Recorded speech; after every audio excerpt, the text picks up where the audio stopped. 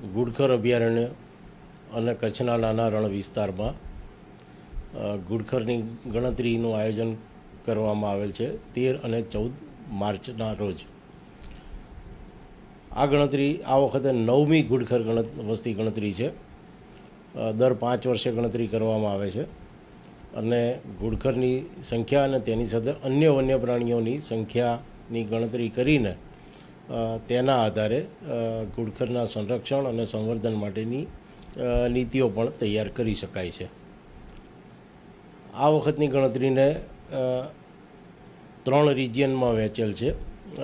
ગણતરીની પદ્ધતિ block count અને ઓક્યુલર કાઉન્ટ. નજરે દેખીને અને બ્લોક મુજબ ગણતરી કરવામાં આવે.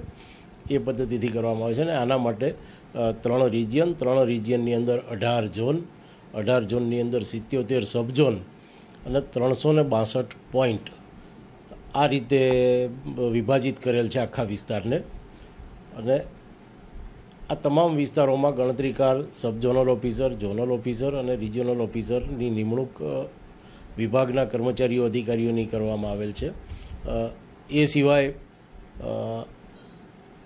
બિનસરકારી પ્રતિનિધિઓ સ્વયંસેવકો તરીકે તેમજ જરૂર પડે ત્યાં સ્થાનિક મદદનીશોની પણ મદદ લઈને ગણતરીમાં એ લોકોને સહાયભૂત બનાવવામાં આવેલ છે. અને આના માટે લગભગ સાતસોથી વધુ લોકોની નિમણૂક કરવામાં આવેલ છે. બે હજાર ચૌદમાં છેલ્લી ગણતરી થઈ હતી.